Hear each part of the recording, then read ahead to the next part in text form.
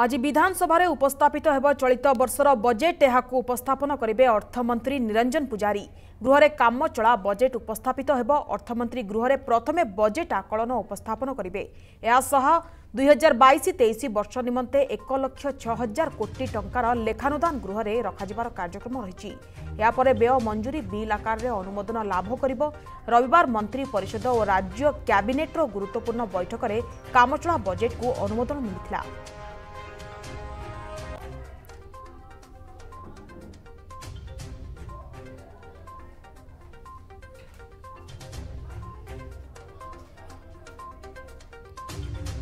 ତେବେ ଆଜି ବିଧାନସଭାରେ ଉପସ୍ଥାପିତ ହେବ ଚଳିତ ବର୍ଷର ବଜେଟ୍ ଏହାକୁ ଉପସ୍ଥାପନ କରିବେ ଅର୍ଥମନ୍ତ୍ରୀ ନିରଞ୍ଜନ ପୂଜାରୀ ଗୃହରେ କାମଚଳା ବଜେଟ୍ ଆଜି ଉପସ୍ଥାପିତ ହେବ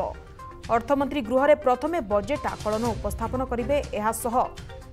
ଦୁଇହଜାର ବାଇଶ ତେଇଶ ବର୍ଷ ନିମନ୍ତେ ଏକ ଲକ୍ଷ ଛଅ ହଜାର କୋଟି ଟଙ୍କାର ଲେଖାଦାନ ଗୃହରେ ରଖାଯିବାର କାର୍ଯ୍ୟକ୍ରମ ରହିଛି তেমন সম্পর্কিত অধিক সূচনা দেবে ভুবনেশ্বরাম প্রতিনিধি দিব্যজ্যোতি মহান্তি ফোন ইন্রে আম সহ যোড়ি হয়েছেন দিব্য যদি কহা আজর বিধানসভা বেশ গুরুত্বপূর্ণ বহন করছি কিনা আজ বিধানসভার উপস্থাপিত হব চলিত বর্ষর বজেট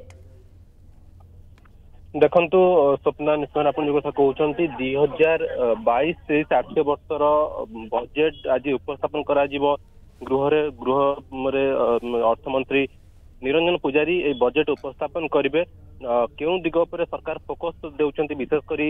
ଯେଉଁ ସବୁ ପୁରୁଣା ଯୋଜନା ରହିଛି ତାକୁ କିଭଳି ଭାବରେ ତାହାର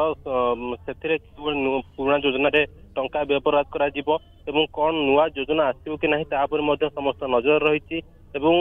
ଆପଣ ଦେଖିବେ ଯେହେତୁ ପଞ୍ଚାୟତ ପୌର ନିର୍ବାଚନ ଚାଲିଥିଲା সেই পরিপ্রেক্ষিতে রাজ্য সরকার এথর কামচড়া বজেট আনুচ্ছন্তি ପାଖାପାଖି ଏକ ଲକ୍ଷ କୋଟି ଟଙ୍କାର ବଜେଟ ଏଥର ଆସୁଛି ପୁଣି ଯେତେବେଳେ ମୌସୁମୀ ଅଧିବେଶନ ହବ ସେଇ ସମୟରେ ପୂର୍ଣ୍ଣାଙ୍ଗ ବଜେଟ ଅଣାଯିବ ଏହା ହେଉଛି ଯାହା ଅପଡେଟ ରହିଛି ନିହାତି ଭାବରେ ଆଜିର ବଜେଟ ଅଧିବେଶନ ବା ଆଜିର ବଜେଟ ଉପସ୍ଥାପନ ଉପରେ ସମସ୍ତଙ୍କର ନଜର ରହିଛି ଫୋକସ ରହିଛି ଯେ କେଉଁ କେଉଁ ଦିଗ ଉପରେ ସରକାର ଗୁରୁତ୍ୱ ଦେଉଛନ୍ତି ଯେହେତୁ ପୌର ପଞ୍ଚାୟତ ନିର୍ବାଚନ ସରିଛି ଏବଂ ଏହି ସମୟରେ ସରକାର କ'ଣ ନୂଆ ଯୋଜନା ଆଣିବେ ଏବଂ ପୁରୁଣା ଯୋଜନାକୁ କେତେ ଦୂର କହିପାରିବା ତା ଉପରେ ଫୋକସ୍ କରିବେ ସେ ଦିଗ ଉପରେ ସମସ୍ତ ନଜର ରହିବ ସ୍ୱପ୍ନା ନିହାତି ଭାବେ ଯାହା ଦିବ୍ୟ ଆପଣ ସୂଚନା ଦେଉଥିଲେ ଆଜି ଗୃହରେ ଉପସ୍ଥାପିତ ହେବ ଚଳିତ ବର୍ଷର ବଜେଟ୍ ଏହାକୁ ଉପସ୍ଥାପନ କରିବେ ଅର୍ଥମନ୍ତ୍ରୀ ନିରଞ୍ଜନ ପୂଜାରୀ ଏବଂ ଯଦି କହିବା କେଉଁ କେଉଁ ଦିଗରେ ଗୁରୁତ୍ୱ ଦିଆଯାଉଛି ତାହା ଉପରେ ମଧ୍ୟ ସମସ୍ତଙ୍କ ନଜର ରହିବ ଧନ୍ୟବାଦ ଦିବ୍ୟଜ୍ୟୋତି ଆପଣଙ୍କ ତମାମ ଅପଡେଟ୍ ପାଇଁ